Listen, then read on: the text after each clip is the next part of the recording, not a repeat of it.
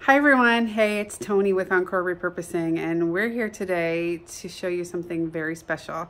Um, here with Jeanette, who's one of our customers who commissioned us to do a piece um, that was a family heirloom that they wanted to maintain.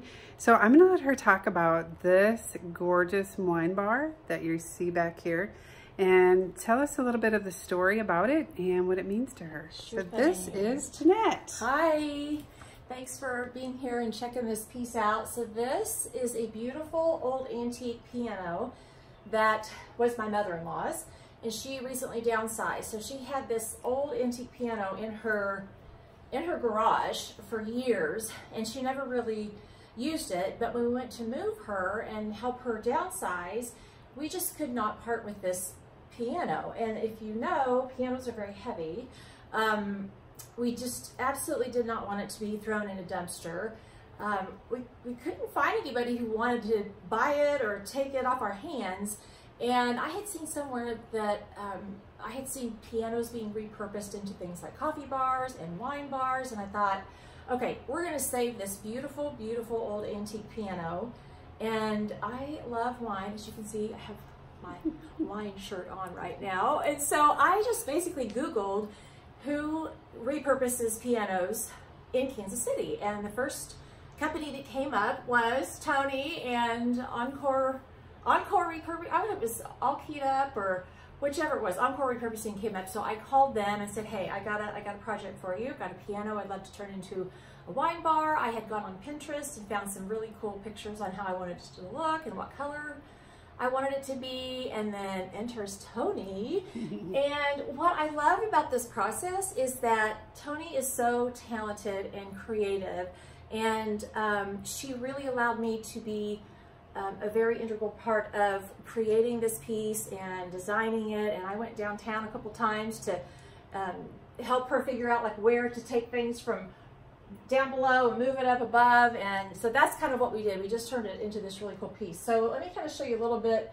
about how we changed it. This little shelf here, I love um, because then my little glasses are just handy for when I want my wine. But this piece came from, I'm assuming, probably somewhere down below. And I hope you'll post pictures of the before We will definitely piano do that. after, and then Mhm. after. So Yes. I definitely wanted to have a shelf to put glasses. So she was able to put this up here. If you come a little bit closer, this beautiful ornate piece right in there, that was taken from another area of the piano and moved up here so that it just brought up this this beautiful little design piece.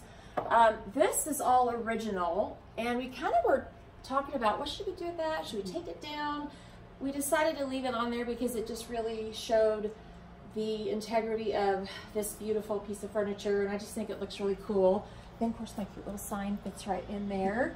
um, these pieces right here, you can kind of get in and see that, that big ornate piece right there, that was originally down here, I think on the legs of the piano. So we have, I had her remove those and put them up there. Um, what else did we do? Oh, let's look down here if you can see down below. So I wanted to have an area down here to just put fun things, um, my wine corks. So I, I guess I drink a little bit of wine, don't I?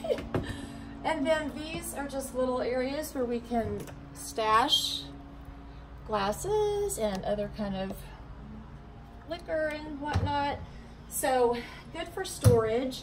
Uh, this part I love. So this, this is where the keys were and a lot of people ask, how do you get those corks in there? So these are the three inset pieces that they were just already there. I don't even know why they were there, but they just perfectly fit all these little corks. And then we just put a piece of glass over the top. Um, oh, this piece right here, this was down, I think below, down by the feet, right? This was like the piece that was originally down here. I had her bring it up here. We talked about painting this part a different color, which I think really helps this stand out. Um, what else did we do? Oh, the feet. So these are the original feet on the piano, but they were, they weren't this color. I think you came over one day and mm -hmm. saw the little mule mugs and we thought, why don't we, why don't we paint them so they kind of match yeah. the mug. So I think that turned out super cute. Mm -hmm. But I just love it. I love that we've been able to keep this piano. We've turned it into something that is useful and fun and a, a conversation piece. And Tony was just a joy and a delight to work with. And now I think she's like one of my friends. And I love chatting with you all the time and seeing what you have working on these days. So yeah. anyway, this is it. My wine bar. I love it. Thank you, Jeanette. Hey, you all know that you have a piece somewhere that's just gathering dust that means something to you, that had some sentimental value to your family. Um, give us a call and have, have an idea or we'll come up with something. We'll work with you and we'll make this project um, something that will last in your family for a hundred more years.